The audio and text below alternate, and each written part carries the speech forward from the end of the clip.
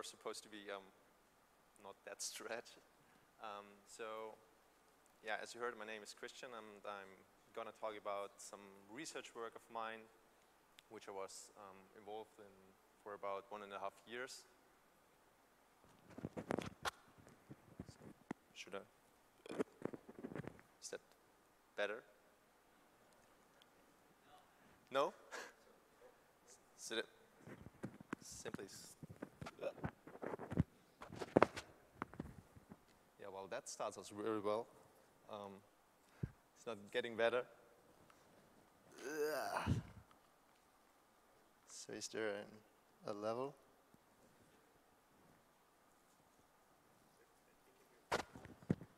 Should hold it the whole time. So you can really not hear me, or should it put it down? Test, test, test. Really? Awesome. Um, so, uh, yeah, analyzing and detecting Flash-based malware. And this is joint work with um, Fabio Yamaguchi, Daniel Arp, and um, Rieck. So um, let me say a few words about myself um, beforehand. Um, I'm a PhD candidate at the newly established um, Institute of System Security in Brunswick, Germany. So we moved there from the University of Göttingen recently.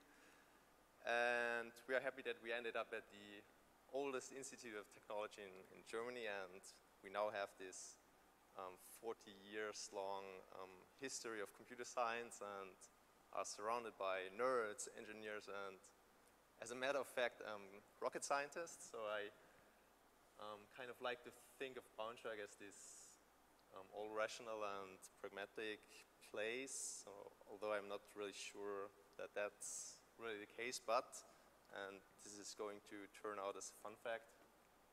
We do have this Braunschweiger Schloss, which is a city castle built in the 1700s, but destroyed in World War II, and it's actually a shopping mall. So the, the city didn't have enough money to build the, the castle, so they sold the place to some investor who wanted to build this, this shopping mall. So they simply took the money and built the, the castle anyways, but only the, the surroundings. So in there, it's actually this, this weird shopping mall, and on the right side there's Starbucks, and in the middle some um, H&M store. And the funny thing is that I was in this um, shopping mall before, and I only learned about this fact um, about three weeks ago. So, yeah, how much pragmatic get, I guess. Anyhow, so um, let's talk about malware. Um, so malicious software is one of the um, lasting problems we have in um, computer security. And over the years we saw different variations such as Trojans, bots, ad adware, ransomware, um, and so on. And also um, for targeted attacks, um, malware is increasingly used and probably doesn't take anybody by surprise that there also is malware for the Adobe Flash platform. Um, for instance, for conducting drive-by downloads, malicious redirects, um, fingerprinting the environment, exploiting the flash player, exploiting the browser, um, and so on. So um, we do have HTML5, and this would really nicely replace many of the functionalities um, Flash provides. And as a matter of fact, um, many browser vendors start banning the, the Flash plugins from their products but nevertheless, um, Flash is um, deployed on millions of devices across different platforms and even worse, um, about every fourth website among the um, Alexa 1000 ranking still makes use of Flash for some kind of dynamic and multimedia content. For instance, for advertisement, video streaming, betting portals, gaming, and so on. And one reason um, why um, Flash is so popular in this um, fields of application is that it came, or since the early days, it came with a, a rather powerful scripting language, namely ActionScript, which, similar to JavaScript, is one, um, or a dialect of um, the ECMAScript standard. And during the last 20, of, 20 years users have, well, almost regularly being at risk of being um, attacked through this um, platform. And in the um, last year or so, we saw a tremendous increase in um, new vulnerabilities found for this um, platform. So I did this um, um, figure for a, a, talk last year um, on some preliminary work of, of this one, and I plotted the, the number of CVEs over the, the years of their occurrence and fitted this nice curve in there showing that there's some kind of um, exponential growth um, in the number of um, vulnerabilities found. And for this talk, I updated the numbers and ran the script for the, the figure again, and the scale basically exploded. And the reason for this is that in the last three months of 2015, um, the number of exploits or vulnerabilities found um, almost doubled. And 85% of these actually allow um, remote code execution. So the point I tried to make last year is the same as this year. So the number of um, vulnerabilities simply um, increased by a lot. So flash security still is an issue, and so is flash-based malware. Um, if you have a look at um, attack scenarios and attack scenarios for flash-based malware. We can categorize these in yeah, roughly um, three different classes. Um, so we start with the um, structural exploits of the flash player itself. So imagine you get a malformed um, flash animation, which contains some value the, the parser or the, the interpreter doesn't expect. And for instance, buffer flow overflow is, is possible and allows remote code execution. Um, the second class um, is this, this, huge class of um, malicious ActionScript code. Um, so ActionScript code is, is, used for launching and preparing exploits. Think of um, obfuscation and think of heap spraying and stuff like this. Third, environment fingerprinting.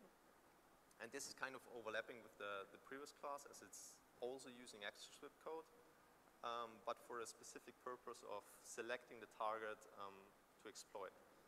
And of course, um, an attack in practice will almost always fall in more than the, um, one of these um, categories.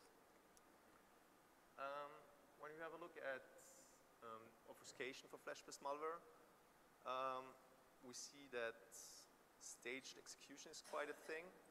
So the dynamic loading of, of code at runtime and for, for JavaScript, for instance, you have this, this eval function, um, which you also have for ActionScript 2, but not for ActionScript 3. But both version of, versions of the language allow you to um, dynamically load other Flash animations. And these animations can again contain ActionScript code, and even worse, those animations can be assembled at runtime or downloaded from the internet.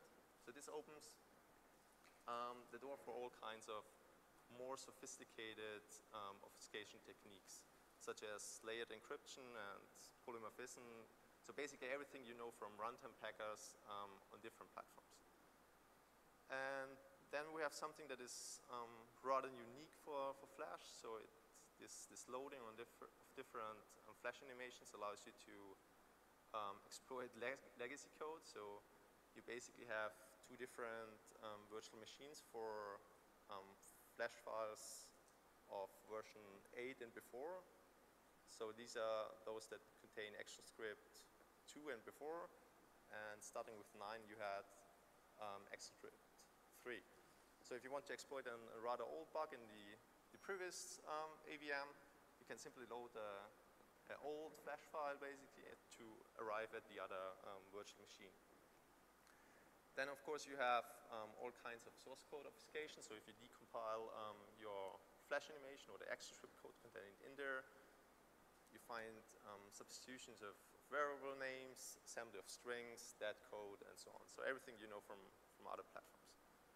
And again, um, probing the execution environment is um, quite popular. So you only trigger your payload if you know that you are on a specific platform and that you know that you are able to exploit um, this particular um, version of the FlashBit. And for this, um, Flash and Action, ActionScript provides you with um, quite some um, possibilities. And the most popular probably is this capability struct, which has um, slightly different names on these two versions of the language. And it contains um, the kind of um, interpreter, its version, the operating system, whether or not it's debugged or not. And down here we see a, a, a check for the versions of a recent malware sample, which is simply checking for the six versions of um, the Flash player on Windows. And if it's not able to, well, if it's not one of these um, versions, it's able to exploit, it simply returns and does nothing. Um, so what we did to um, address these different kinds of attacks for, for Flash is to develop um, Gordon, um, which is a um, platform for the comprehensive analysis of Flash animations in general. And this builds up basically three different um, building blocks. So we have a structural analysis to address these structural exploits. Um, so this is a static analysis, and then we have a dynamic analysis of the contained ActionScript code.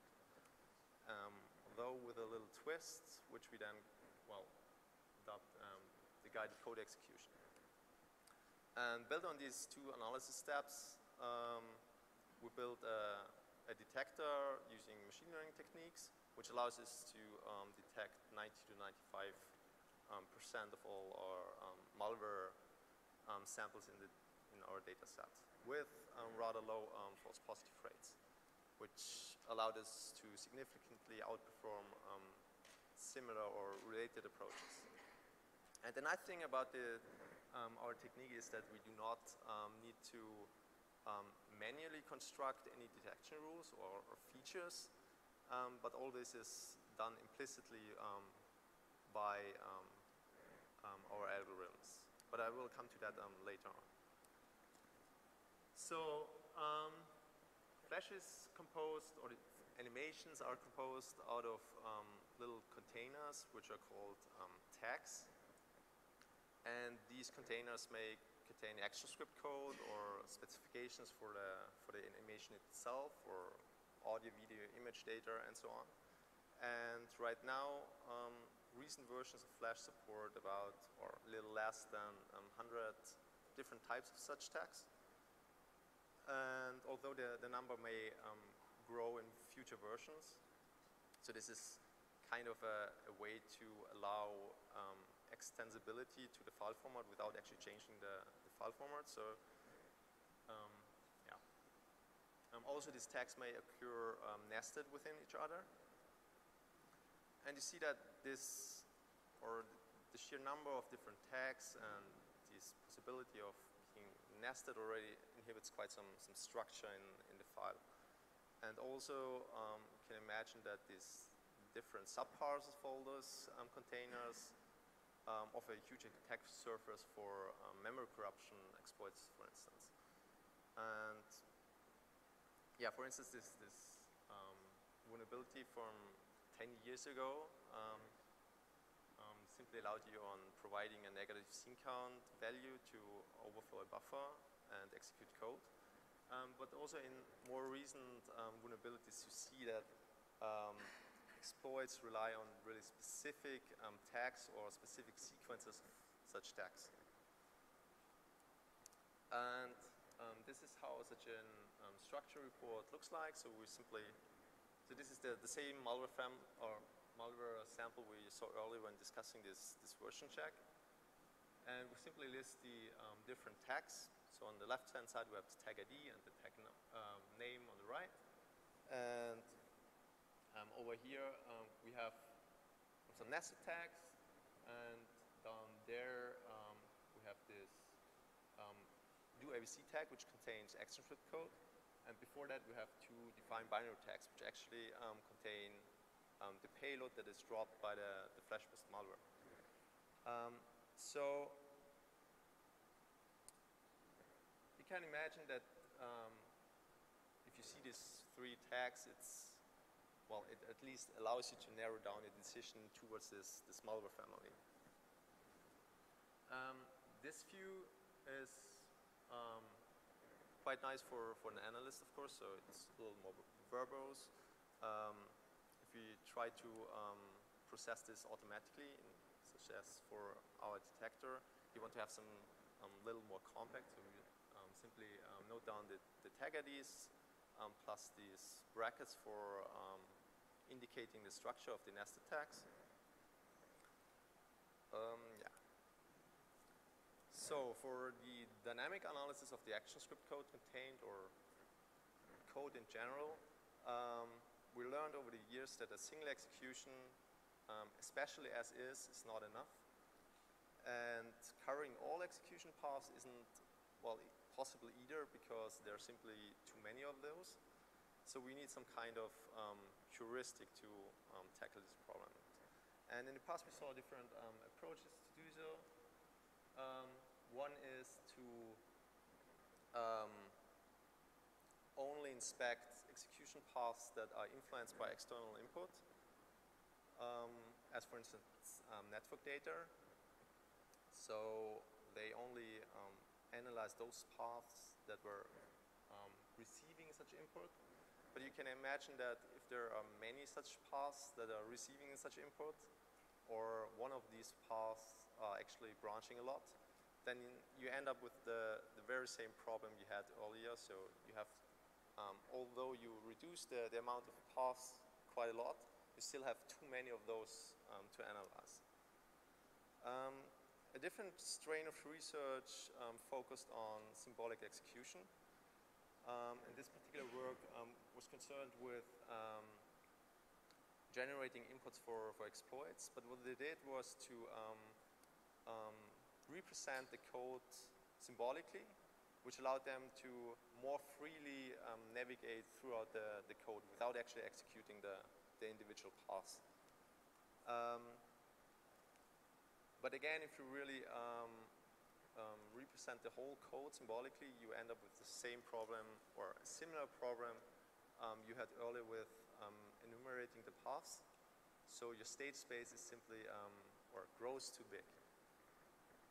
Um, Rozzle, for instance, tried to tackle this by um, introducing um, multi-execution, which still makes use of symbolic execution, but they orient um, themselves along the, the normal or the, the intended path of the sample.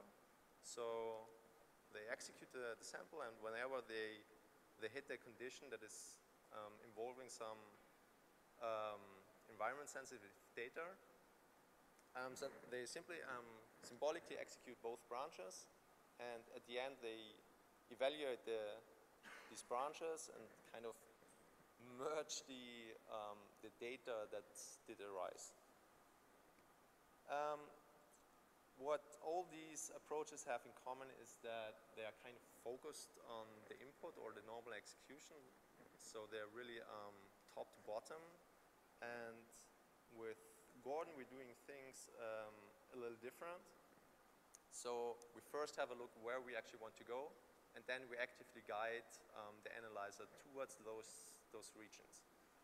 And those um, interesting or indicative um, code regions might be um, branches that um, dynamically load code using this load movie function, for instance, or paths that contain simply a lot of instructions. So we you can see this um, approach somewhere as maximizing the, um, the code we are actually analyzing.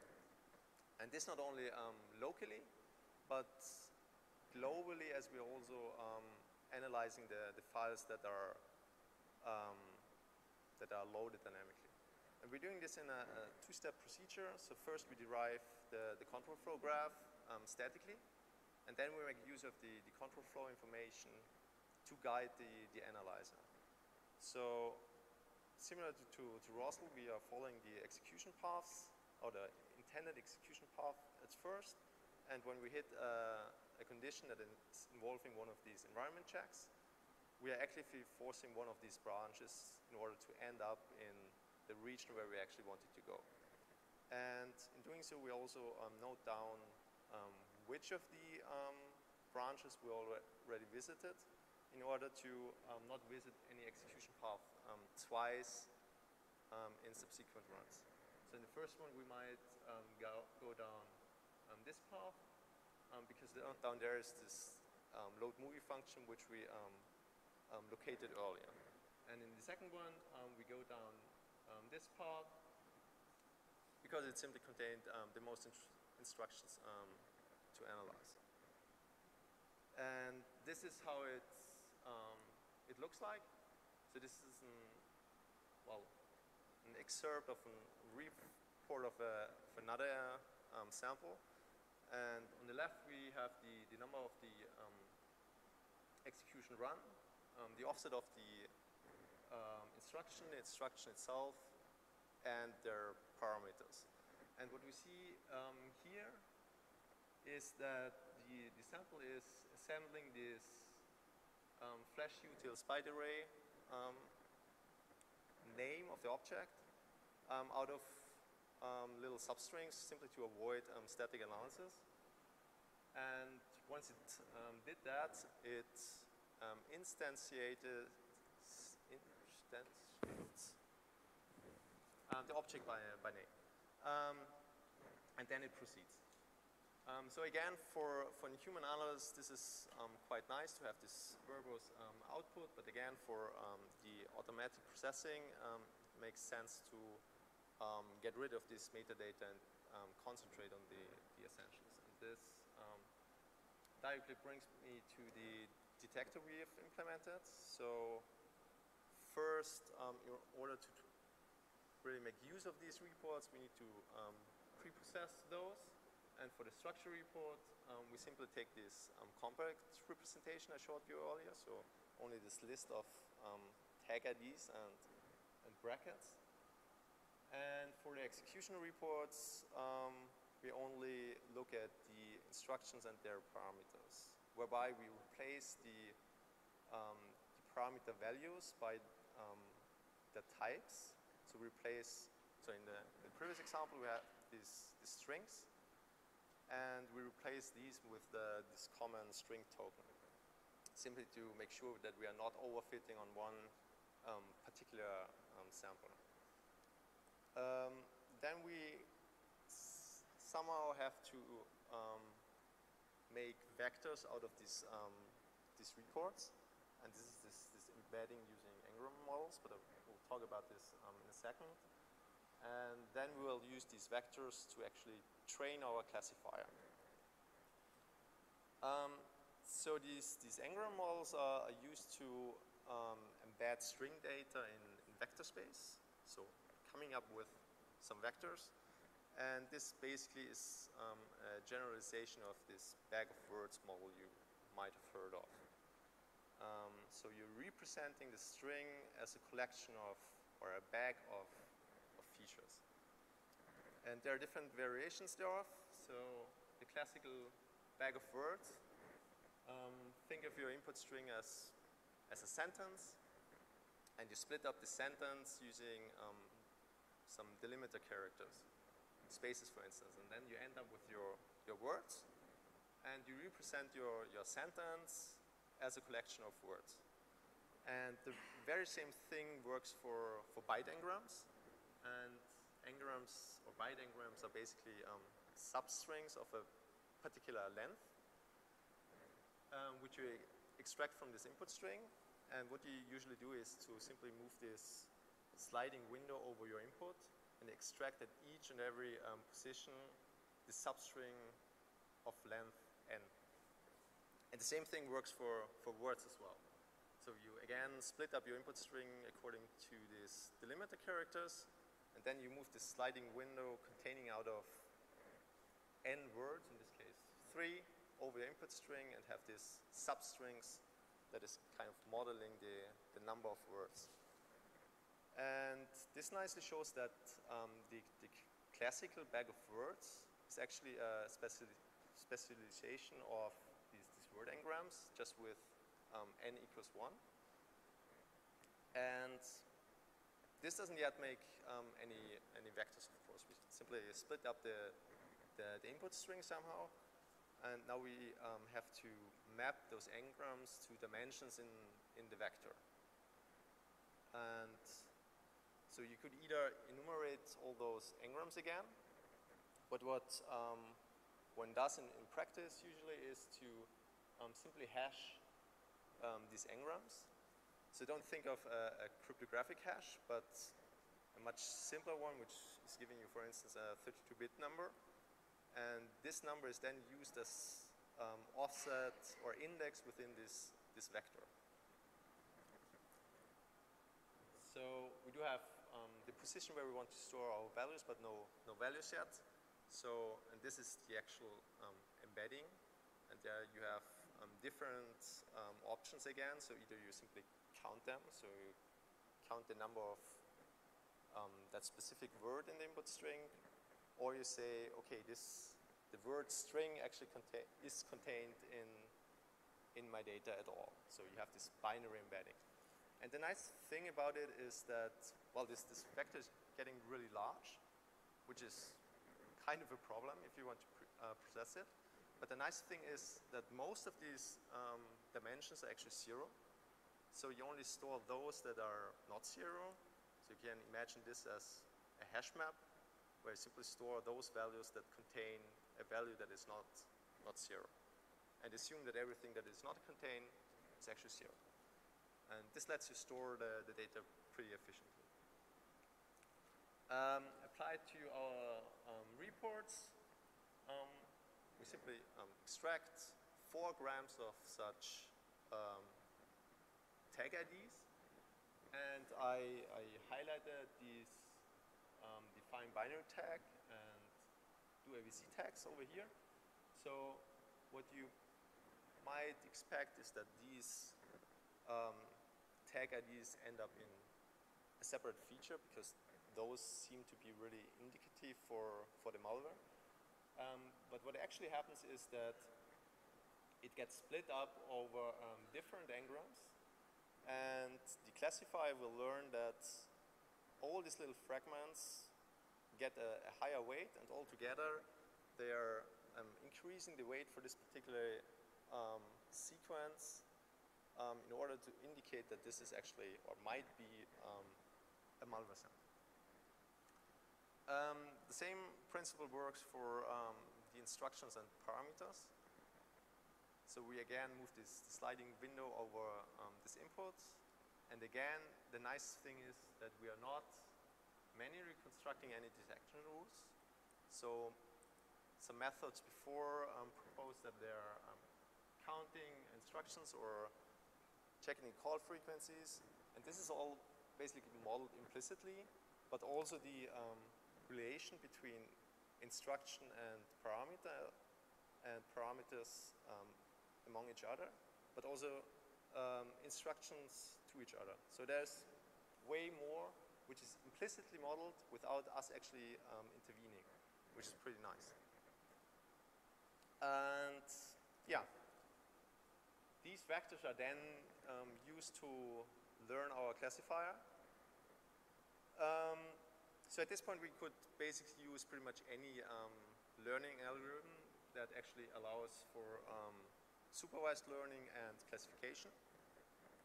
Um, but we simply went for support vector machines as they are really um, efficient and among all robust.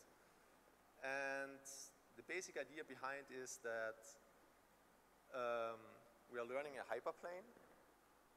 Means there's this, this separation between the classes, so um, benign and malicious, and are trying to maximize this margin, this, this distance between the, the two classes.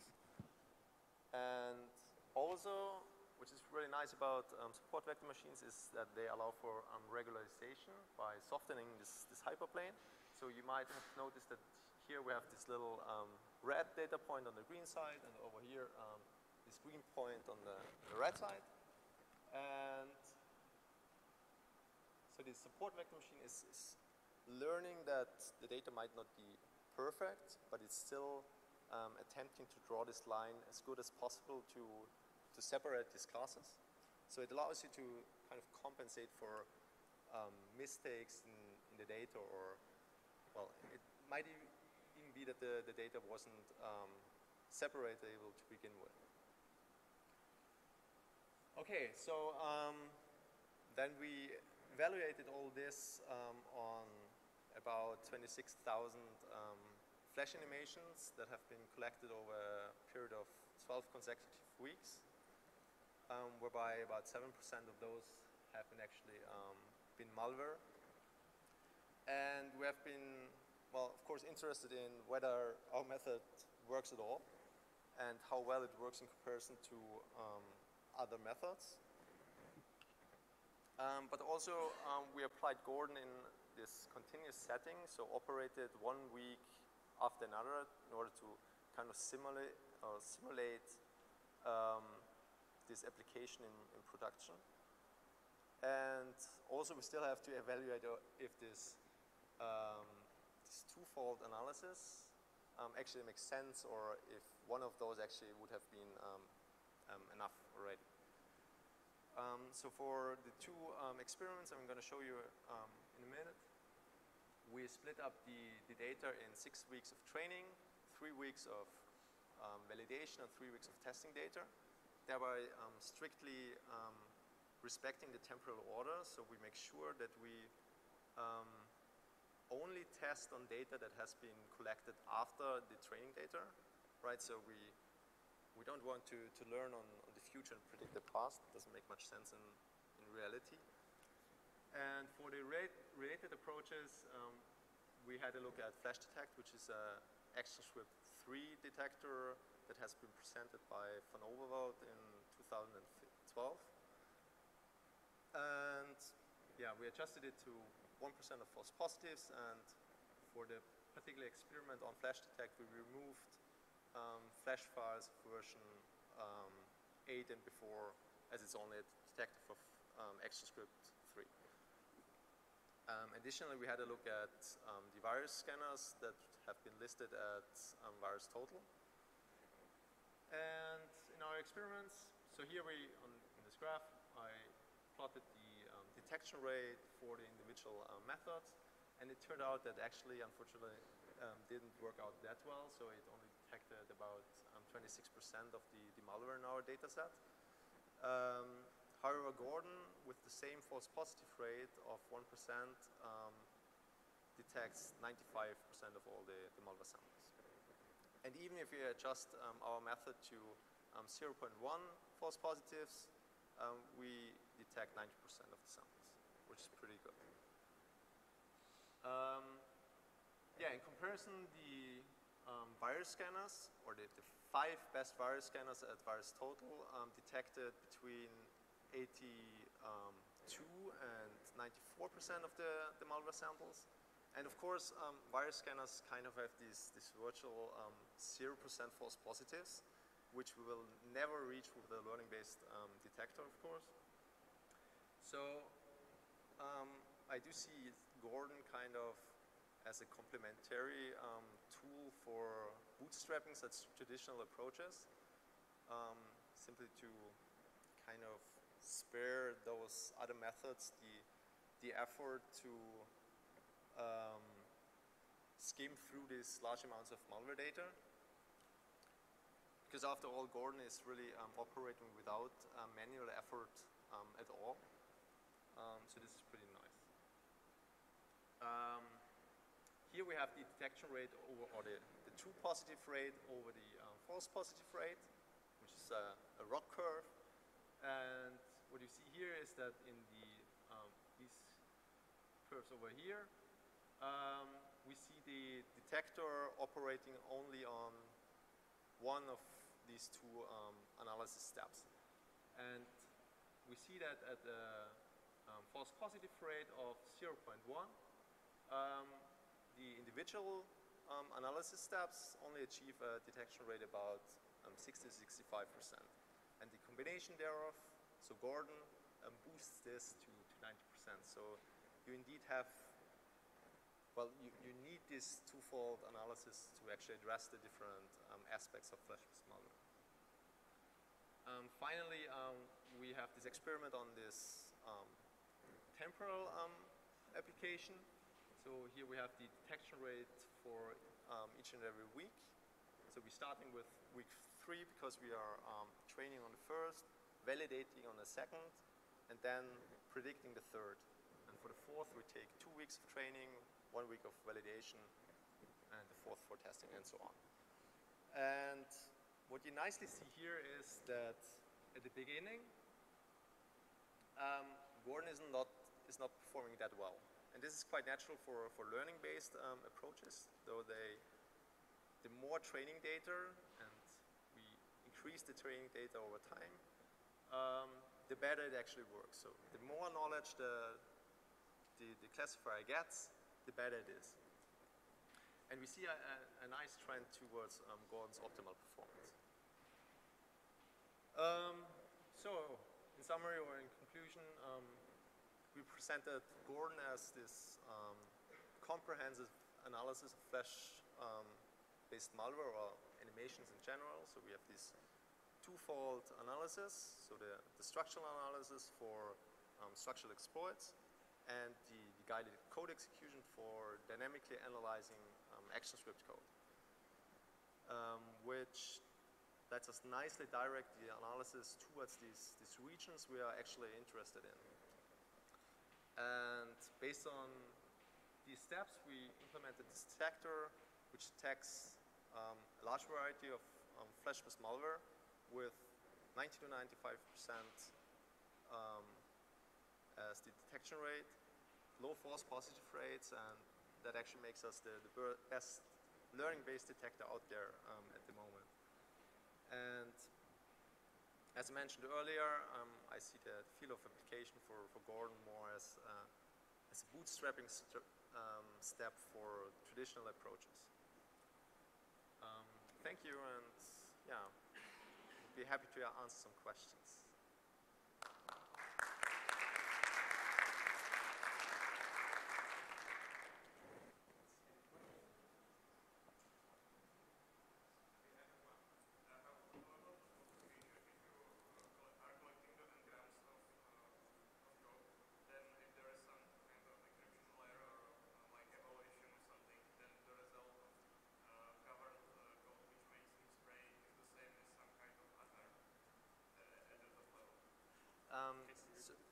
So if I understood you correctly, the, the, question was um, if we're extracting n-grams and we're actually um, extracting these n-grams over encrypted data.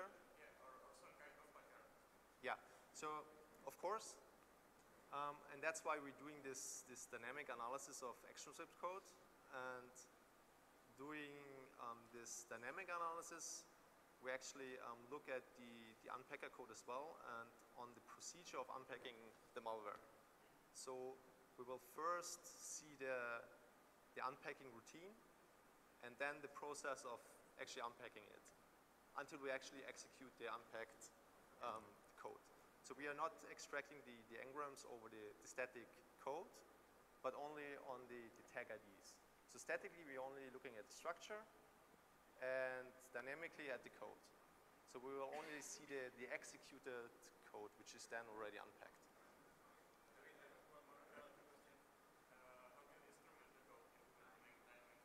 Come again? Um, we actually extended um, Lightspark and, and in order to um, um cover both um, versions of the, the ActionScript VM. So we simply extended those, those interpreters then ran that stuff in, in the sandbox such that nothing bad happens. So, yeah. You're welcome. So maybe on the ground roots, um, you're actually using malicious and benign classification to yeah. actually evaluate.